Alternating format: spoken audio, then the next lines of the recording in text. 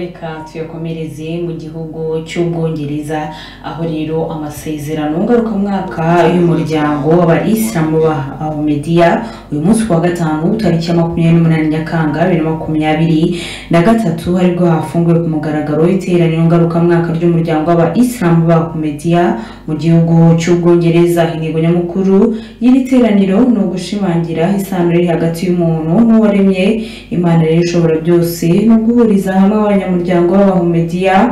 mu buryo bwa kivandimwe urukundo ubwumvikane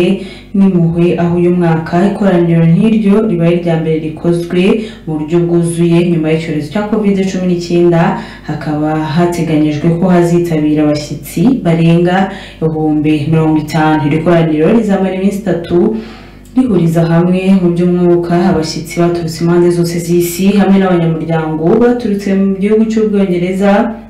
bitewe rero n'ubunini bw'iri koraniro ririmo gutambuka kuri televiziyo ya satelite ku isi yose aho nyiricyubahiro hazirat reza ahmed ukurikiye ukuriye umuryango mpuzamahanga w'abahumediya yatangije ibirori hamwe n'imiryango kuzamura ibendera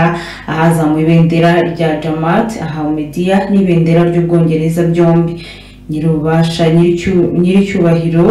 yahise atangira kubwira abari aho abaha ikaze bose kandi atanga inyigisho z'ubuhanga inyigisho n'akamaro k'iki gikorwa mu gihe abantu babarizwa muri za miliyoni bakurikiranye ijambo rye ritangiza iri koraniro banyuze ku mateleviziyo atandukanye n'ahandi. Rero akaba nanone ari intangiriro y'iminsi itatu tudashidikanyaho ko idasanzwe kandi tuzakomeza kubabera i London aho tuzabagezaho imbonankubone uko gahunda izakurikirana umunsi ku munsi